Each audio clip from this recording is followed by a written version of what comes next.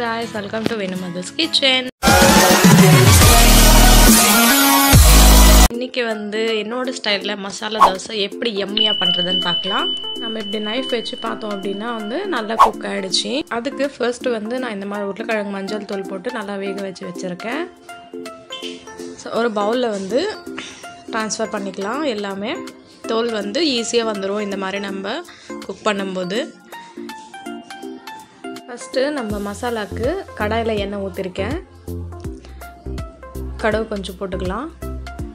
கடுகு பொரிஞ்சதும் கொஞ்சம் சீரகம். கொஞ்சம் ஆனியன் வந்து ஸ்லைஸ்டாக கட் பண்ணியிருக்கிறது சேர்த்துக்கிறேன். சேர்த்துட்டு நல்லா வந்து சாட்டே பண்ணிக்கலாம். ஆனியன் நல்லா வதங்கினதும் கருவேப்பிலை சேர்த்துக்கலாம். கருவேப்பிலை சேர்த்துட்டு நல்லா சாட்டே பண்ணிட்டு ஒரு ஒன் மினிட்டு அதுக்கப்புறம் பூண்டு ஒரு நாலஞ்சு பல்லு சேர்த்துருக்கேன். பூண்டு வந்து நம்ம வேஸ்ட்டாக சேர்க்கக்கூடாது. அதே மாதிரி இஞ்சி கூட நான் வந்து கிரேட் பண்ணி சேர்த்துருக்கேன். இஞ்சி ஃப்ளேவர் வந்து சூப்பராக இருக்கும். இந்த மாதிரி மசாலா பேஸ்ட்டில் வந்து நம்ம ஆட் பண்ணும்போது. சில பேர் வந்து பிடிக்காமல் ஆட் பண்ண மாட்டாங்க. ஆனால் வந்து ஒன்ஸ் ஆட் பண்ணி பாருங்கள் ரொம்ப என்ஹான்ஸாக இருக்கும் ஃப்ளேவரு அதுக்கப்புறம் வந்து ரெண்டு க்ரீன் சில்லி நல்லா ஸ்லைஸ்டாக கட் பண்ணி ஆட் பண்ணியிருக்கேன். நல்லா சாட்டே ஆனதும் மஞ்சள் தூள் சேர்த்துக்கலாம். ஒரு ஹாஃப் டீஸ்பூன் அளவுக்கு மஞ்சள் தூள் வந்து ஆட் பண்ணியிருக்கேன். நல்லா சாட்டே பண்ணதுக்கப்புறம் நம்ம தண்ணி வந்து சேர்த்துக்கலாம். ஓரளவுக்கு நல்லா வதங்கிடுச்சு. வாட்டர் வந்து ஆட் பண்ணியாச்சு. பார்த்திங்கன்னா நான் வந்து ஒரு ஒன் கிளாஸ் அளவுக்கு தான் வாட்டர் ஊற்றிருக்கேன் ஏன்னா வந்து நம்ம கன்சிஸ்டன்சி பார்த்திங்கன்னா ரொம்ப வந்து கொஞ்சம் திக்காக இருக்கணும். அப்போ தான் மசாலா பேஸ்ட் உள்ளே வைக்கிறதுக்கு கரெக்டாக இருக்கும். நம்ம பூரி கிழங்குக்கு ஆட் பண்ணுவோம் இல்லையா? அந்த மாதிரி பண்ணக்கூடாது. சால்ட் ஆட் பண்ணியாச்சு.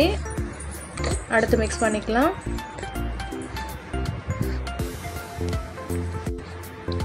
நல்லா வந்து கொதி வரும்போது உருளைக்கிழங்கு சேர்த்துக்கலாம். இப்போ பார்த்தீங்கன்னா தண்ணி நல்லா கொதிச்சிட்ருக்கு. நம்ம வேக வச்சிருந்தோம்ல அது பொட்டேட்டோ ஒன்றா வந்து மேஷ் பண்ணி சேர்த்துக்கலாம்.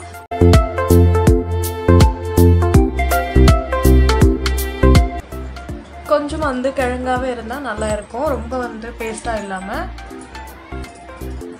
நல்லா வந்து ஒரு வாட்டி மிக்ஸ் பண்ணிக்கலாம்.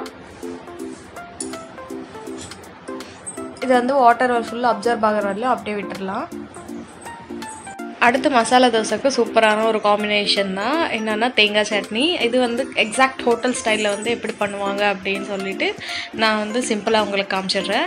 இது வந்து பின்னாடி பேக் சைட் ஃபுல்லாக ரிமூவ் பண்ணியிருக்கேன் ஏன்னா சட்னி வந்து ரொம்ப ஒயிட்டாக இருக்கும் பார்க்குறதுக்கு அழகாக இஞ்சி ஒரு மூணு துண்டு சேர்த்துக்கோங்க.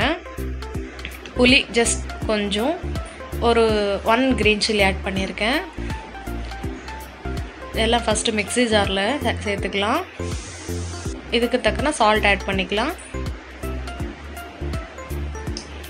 அதோட ஒன் டீஸ்பூன் அளவுக்கு காய்ச்சின பால் சேர்த்துக்கலாம். நல்லா மைய அரைச்சிக்கலாம். ஒரு த்ரீ ஃபோர் டைம் ஸ்விப் பண்ணதும் பொட்டுக்கடலை சேர்த்துக்கலாம். இந்த ஸ்டேஜில் சேர்த்துக்கோங்க. கொஞ்சம் டிஃப்ரெண்ட்டாக இருக்கும். திருப்பி ஒன்று வாட்டி நம்ம மிக்ஸ் பண்ணதும் பார்த்திங்கன்னா எப்படி இருக்க பாருங்கள் இந்த மாதிரி நல்லா பஃபியாக இருக்கணும். சட்னி ஸ்பாஞ்ச் மாதிரி.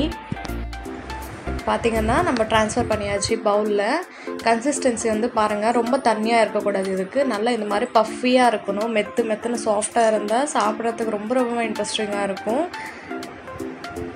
சட்னிக்கு வந்து தாளிச்சிருக்கேன் அதை வந்து இதில் கொட்டிக்கலாம். மிக்ஸ் பண்ண கிழங்கு பார்த்திங்கன்னா ரெடி ஆகிடுச்சு வாட்டர் ஃபுல்லாமே வந்து பத்தடிச்சு பாருங்கள் ஃபுல்லாக அப்சர்வ் ஆகிடுச்சு ஒரு ஒன் மினிட் வந்து நம்ம இந்த மாதிரி மிக்ஸ் பண்ணி இறக்கிடலாம். ஸோ கன்சிஸ்டன்சி இந்த மாதிரி பர்ஃபெக்டாக கொஞ்சம் சாலிடாக இருந்தால் நல்லாயிருக்கும். அப்படி தான் இருக்கணும்.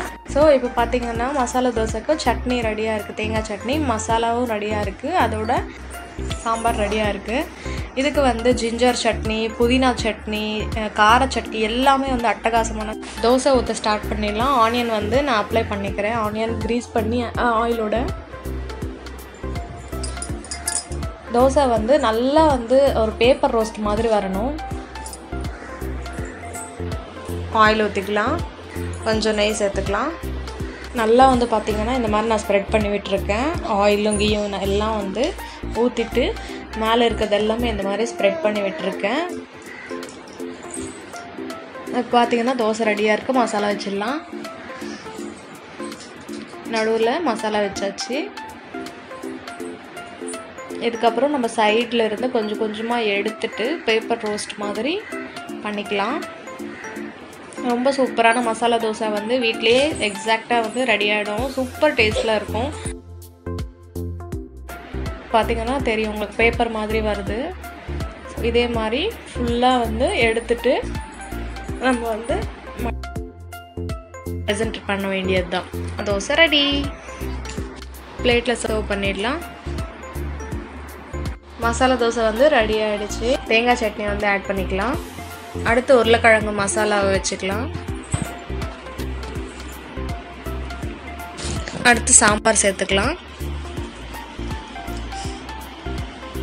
இதுக்கு வந்து கார சட்னி புதினா சட்னி எல்லாமே சூப்பரான காம்பினேஷன் ஸோ சூப்பராக ரெடி ஆகிடுச்சு பாருங்கள் சூப்பரான ஒரு மீல் கண்டிப்பாக ஃபுல்ஃபில்லாக இருக்கும். பிடிச்சிருந்தா வேணுமா கிச்சனுக்கு சப்ஸ்கிரைப் பண்ணுங்கள் தேங்க்யூ ஸோ மச் ஃபார் வாட்சிங் பாய்